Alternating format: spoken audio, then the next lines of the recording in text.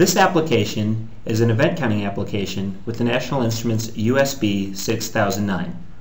The USB 6009 has one counter, it's a 32-bit counter and can count at rates up to 5 megahertz. So let's first take a look at my setup. It's a very simple setup. I have a switch here that is wired into the input of the counter. That switch also goes and creates a circuit or closes a circuit back to the ground input of the 6009. So when I close the switch, we will count the falling edge of that event and we'll register that as an event count. So let's go right into LabVIEW, our graphical programming for setting up data acquisition applications. It makes setting up the simple things easy, but also is capable of expanding to complex applications. So the first and only thing that we're going to do on the front panel is click right, and we're going to drop down a numeric indicator. So we'll put this here, and our numeric indicator, we're going to make it a little bit bigger so that you can see it well, but this is just going to show us all of the different counts that we have accumulated over time. So that's our front panel. Let's go straight into the diagram, and now we'll add in the DAQ Assistant, and we'll tell the DAQ Assistant that in this case, we do want to acquire signals, but we want to count events.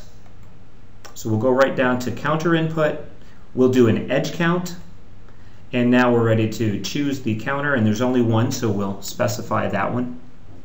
And at this point, we're ready to go. We just want to say, make sure it says one sample on demand, and it does, so we're good, and we'll click OK. And we're ready to go and wire this up. So now, out of the DAQ Assistant will be our counter.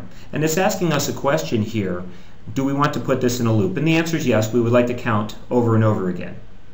So we'll take our numeric value, we'll put it inside the loop, and then we'll take our count values and we'll wire it up to the numeric indicator. And at this point, our program is complete and we're ready to run. Let's go back to the front panel. We'll run this and our program is off and running. Now I'm going to reach over and I'm going to start clicking off events from my counter. Now occasionally you may see it jump.